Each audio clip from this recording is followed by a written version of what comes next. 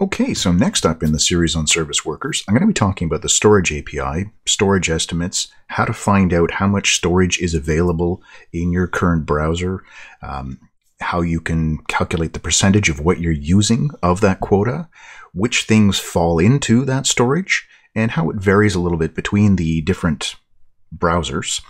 And we're also going to take a look at how we can leverage how much data we're using in the actual caches themselves. So I've taken um, the service worker that I used in the previous video on integrating the cache with the service worker. And what I've done is I've made a few little minor changes here. So we had previously this static cache where we were saving a bunch of files, primarily these ones, and I think I had a couple of images in there. I've also got another cache by the name image cache, and I'm putting the version number on that. So these are the two that I'm going to be using here. Dynamic cache and the font cache we're going to use in the next video when we start talking about fetch. But for now, I've got two arrays, one for my HTML, CSS, and my JavaScript, and then another one that I'm using for my images. Now the reason I chose to create a separate one for my images is that images are likely going to take up most of the storage in your website. Images are much bigger than text, so they're going to take up more memory. So I'm going to want to treat them a little bit differently, and we're going to look at how to do that. So we've got in my install script, so the add event listener for install, I'm still doing what I was before, where I'm looping through everything inside the static cache, calling add all, and adding in the assets array, which was this one, the HTML, CSS, and JavaScript. That one is being added into the static cache, same as before. And remember, add all is the same as doing a fetch and a put to put it into the cache. But I've then chained on another then on the end of that promise. Now, this promise that we're talking about here is the open. We did open and then the then, where we have a reference to the cache itself. This is the static cache. And then after that, I've got another function that runs where I'm going to do another open call, but I'm going to open up the image cache. This is going to be my reference to the image cache, and I'm going to pass in the image assets array. Now, I only have two files here in my image folder, these two, but I'm duplicating them a bunch of times by adding on query strings. So I've got those two files, but I've got four copies of each one and I'm putting all of those in a static cache into here. So in cache storage, we have the static cache, that's those files, the HTML, CSS, and JavaScript, and image cache is now all of these files. And this is where the bulk of the memory is going to be taken up. All right, so that's sort of the setup of what we've got. Um, now, the previous one, I was deleting the static cache if I had a new version of it. I'm still doing that, but inside activate, I've changed my filter method. This is the same code as I had in the previous video. All I've done is I've changed what's happening inside the filter function, where I'm checking for both the static and the image cache. If it doesn't match either of those, then it's one that I want to delete. So we do the map called caches delete. All right, now I can put all the code having to deal with the caches in the service worker, but it's just going to be much easier for me to show the console logs and show what's happening by doing it in my main script. So that's where I'm going to have it now. In the future, we can integrate this stuff into the service worker. So when my page loads, I register the service worker and I'm going to call this function get cache size right here we need to check inside the Navigator object if there's something called storage. Storage represents the browser's storage for the current origin. So remember, you've got the protocol, you've got the port, you've got whatever the domain name is, whether it's localhost or www.abc.com, whatever that is, all those things together make up an origin. And depending on the browser that you're using, there's going to be a little bit of a variation on how much memory you get. So I've got a link, and all these links that I've got up here that I'm going to show you, they're down in the description if you want to take a look at them yourself. Basically, Chrome is going to let you use 80% of the total disk space, and one single origin is allowed to use up to 60% of that total space. So if I'm only going to one website all the time, I can use up to 60% of the available space, but the browser is allowed to use 80%. Internet Explorer, we're not doing progressive web apps there, so we don't have to worry about that. Um, we're not going to be doing much with service workers for IE10. Um, starting about a year ago, um, Edge started to be built on the Chromium platform, which means Edge is going to be following these. Firefox 50% of the available disk space, so the free disk space, so whatever memory you've got available on your computer, half of that is the maximum for the browser. And it does it doesn't work with just origins, but what it does is it looks at origin groups. So all the variations on a top level domain. So all these together are allowed to use up to two gigabytes. Safari um, according to this article. Uh, they couldn't find any official documentation on it, but it seems to be about one gig, and that's for the entire browser. When it gets to that limit, it's going to prompt the user to add on 200 increment, 200 megabyte increments. The only variation here with Safari is when you create PWAs, so progressive web apps, that's going to give you a brand new storage container. So that's another gig that you're allowed to use specifically for that PWA. Um, I also have up here, if you go to the Can I Use website, if you're looking for support for the stuff that I'm going to be talking about, uh, if you search for storage, web storage, this is local storage and session storage. The storage API that we're going to be talking about now, um, the storage API has to do with every kind of storage. If we come in here to the Application tab, local storage, session storage, IndexedDB, cookies, cache storage, all those together make up this tab right here, storage. So it's all these things combined. This is how much memory this origin is taking up right now. Most of it is going to be in these two caches right here. You can see the two caches are taking up almost all of it. IndexedDB, there's 13K, 7K for the service worker. It's really just the images that are taking up all of this. Now, we can use the storage tab to clear out any or all of these.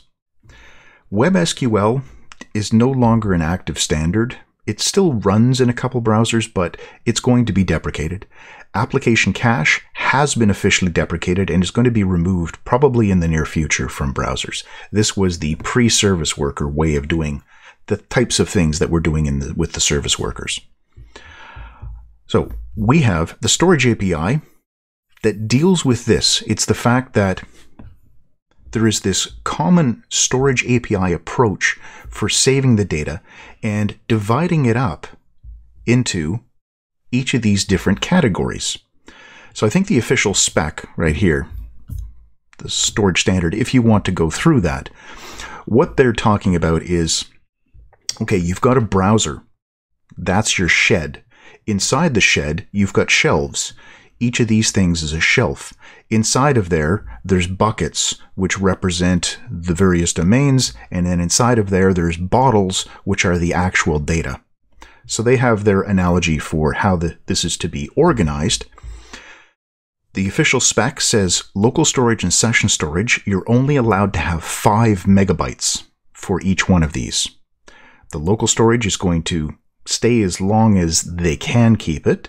Session storage is only for the current sessions session, so it's two separate 5 megabyte containers. That's what the spec says. The spec also says to all of the user agents, all the browsers, that they should make their best efforts to manage it. Um, they should try to make it protected information. So you don't want to give out exact numbers. You give estimates for numbers on how much storage is used. And the reason for that is they don't want people to be able to uh, fingerprint or track people based on the information that's coming back from the storage API. Okay, so we have all these different things. Um, the browser spec for storage API says make your best efforts to maintain this information. Um, recently, there has also been additions to the storage API with the storage manager. Now, the storage manager comes with an estimate method and a persist method. The estimate method we're going to try out here. It's supported in uh, Firefox and Chrome, but not in Safari. Same thing with persist. Um, estimate manager is going to tell us the numbers that we're looking at here. So it's going to give me this total number and it's going to give me how much I'm using. So I can calculate a percentage if I want. The persist method right here, um, the spec says, hey, make your best efforts to manage this and try and divide up the storage based on how popular a website is, how often a person is going to that website, how frequently they're saving things in the cache or local storage and so on. So use that information to figure out your method for divvying up the storage amongst all the websites that this browser is visiting. Persist means that you're going to try to ask for permission for your website to have its storage treated as persistent, so something that's of higher priority that doesn't get deleted. Um, when you create a PWA, you're sort of raising that level anyway, but we're going to look at these two methods. Okay, so let's go back to the console. Let's jump back into our code and take a look at this. So Navigator, storage, that's the storage API, great. If inside of navigator.storage we have estimate, we can now say, hey, I want to know what is available. This will return a promise to me, which is going to have those two numbers. The inside of here, it's going to give me an object back, and it's going to have two properties, usage and quota those two numbers right there. We're going to use these two numbers. Um, I'm going to convert them to kilobytes. The numbers that come back are in bytes.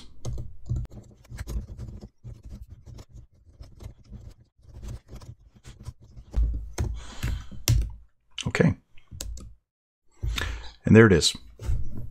So using this number of kilobytes of this, this was our 1.2 megabytes that we had of the 300 uh, gigabytes that we had available to us. So we've got tons of space on this computer.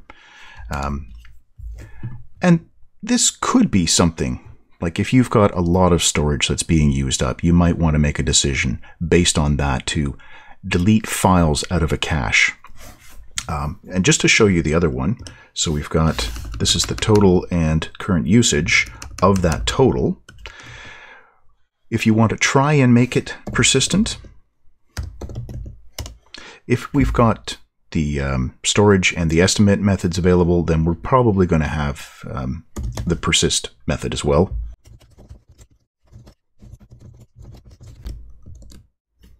And there we go. So yes, the browser is going to grant me permission to keep this data stored as persistent. So we've got a, a greater chance of keeping it. Now, this is not available in as many places. The uh, as the estimate, uh, like I was saying, Firefox and Chrome are both going to give me these things. Um, Safari, not so not so much, but that's okay. This may not be something that you want to use in terms of how much storage am I taking up. It could be useful at some point for really large files, but what we're going to do is we're going to look at individual files so I've got all of this right here about the storage API. Now I want to look at individual files. So we're going to open up and we could look at any one of our caches. I'm going to look at the image cache. So I'll come over here. It's this one right here, the one with all the JPEGs. This is the one that I'm going to look at, and I want to find out how much storage is actually inside of there. So the image cache dash 2 is the name.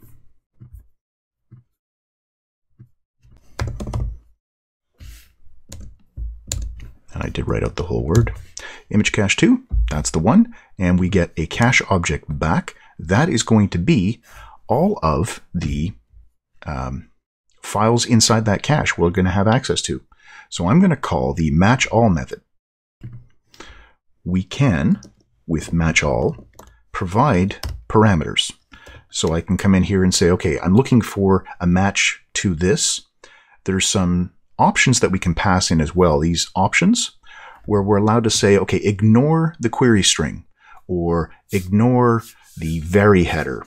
Um, there's a few other, there's three options that we can pass in.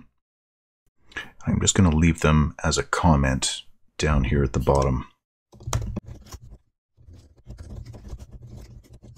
And those are the default values. So search is the query string. So if you want to ignore the query string when you're matching everything, if you want to ignore the method, is it put, is it post, is it head, is it um, post, is it delete, whatever the method is, if you want to ignore that, if you've got multiple ones that are saved there, but they had different methods, we could do that. And ignore vary, there's a vary header, um, which has to do with how the browser handles uh, different versions of files. So these are all things that you can pass in as options here. You can change these between true and false. I want to match everything in my cache. I'm not going to say ignore anything. I just want all the files. So I'm just going to call match all with no parameters passed in. It is then going to pass back to me an array.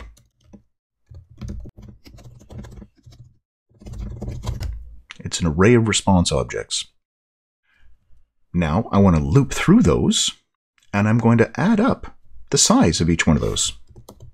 So we'll have a total variable, going to start off at zero, and then we're just going to keep adding to that total as we loop through them. So we've got matches for each. It's just an array. Doesn't matter what the things are inside the array. It is just an array. And for each one of those response objects, I'm going to have to look at it and find out, does it have a content length header? If it does, get the value of that and add it to our total.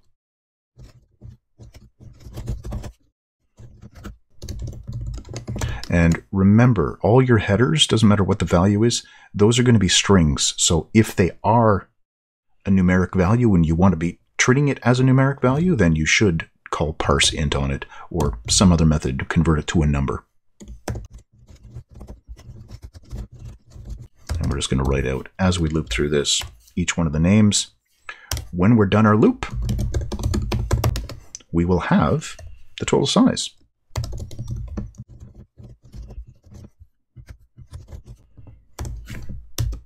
There we go. So this is something that you can use to decide if you want to delete. Once I reached a certain total or a certain size, I can decide, okay, I'm going to delete the oldest images in here. Or maybe I'm going to sort them by the size. You can do that as well. You can do a sort. This is just an array, so you can do a custom sort based on the value of that property. And then sort them from largest to smallest, and then delete the biggest files. And there we go. So Adding size for each of these, we went through the entire cache. Total size in the cache is 558,000 bytes, so 550K. And we had one, two, three, four, five, six, seven, eight. Yeah, so eight, that's everything in the cache. All right, so that is it. That is how you would determine the size, and then you've got a total. You can use that to decide what you want to keep completely up to you. But I did this inside of my app.js because it was easy to show uh, in the console. But typically, I would do this sort of handling inside my service worker, inside here, the fetch event listener. So go to the cache, get it. If I don't have it, I'm going to do a fetch call, retrieve it from the server, bring it back, and add it to the cache. I need to decide which cache I'm going to put it into. And then I can decide do I want to test a certain cache, see if it's too big, and if so, delete files. All right, so next video coming up is going to be on the fetch listener and using the fetch API inside of service workers. So hope you come back for that. If you have any questions about this one, feel free to leave them in the comments down below. I'll answer as many as I have time for. And as always, thanks for watching.